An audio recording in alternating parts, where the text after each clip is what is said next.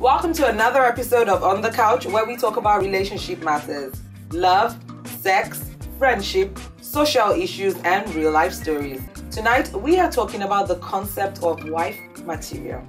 You heard that right? wife material. Okay, so people, we are talking about the concept of wife material. Now, I'm going to start off with the guys. Why are you guys not looking? they're not, they're not, they're not Okay, looking like. okay. "Hmm, okay. okay, so who, who, who, who, who exactly do you guys consider to be wife material? How would you describe wife, wife material? Oh well, Because you know, sorry to interrupt you. You know, this is the festive period, and there there've been so many weddings going on, and I know Jide Baba Jide loves attending weddings.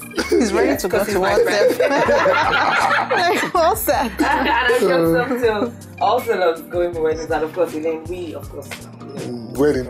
we're, we're wedding people, so you know how, how, how do you describe wife material? Well, first of all, um, I'll say um, the the looks first. Then um, I'll go. If I get to know the person, then The looks. What about the looks? Uh, well, like I always say this, uh, the look doesn't really matter, but it really matters one way or the other because uh, the first thing we see is the look. Then we go after the look. Then after the look, then we get to know more about this person. Can she cook? I really don't eat. I'm not Now the food one. I'm not. I'm, Okay, Elaine, do you think there's a misconception of a girl who has been around town not being a wife material?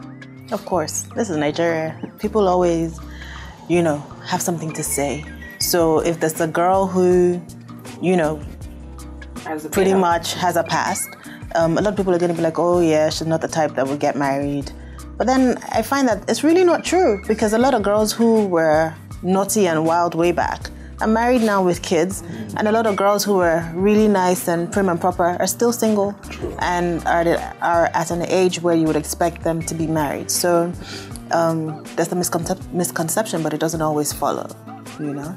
And then again, when people are young, they do a lot of crazy things, and then they get older, they get wiser, you know, some might even become more God fearing and all of that, and then become fantastic wives and fantastic moms.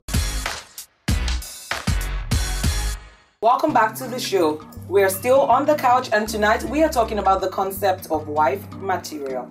Okay, guys, welcome back.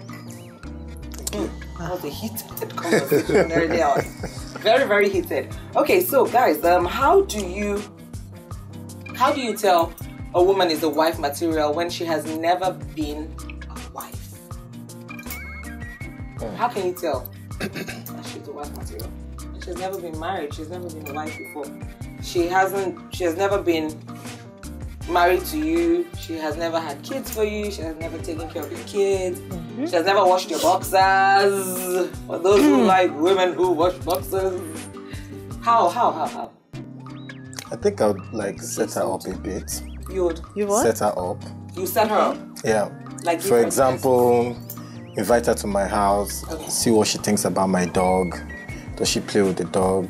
Does she mm-hmm. take care of it? Maybe invite my little nephews and cousins. Does she push them away? Or does she cuddle them? Things like that. If she loves kids, because I, I, I, I love kids. So if I think those little kind of things can, you know, I'll be able to tell if she's wife material or Wait, not. sorry, so how she treats your dog? Are you Yeah. gonna now take that to be similar to how she'll treat your kids in the future? Um, sort of, yes. But Because she doesn't like dogs and she just puts the dog in the cage, I'm, doesn't I'm a pet cage lover. I can't have a wife that, that, would, that who, who For doesn't you, love pets. that- So, that so that's work. also so that's yeah. like a test for Okay. her.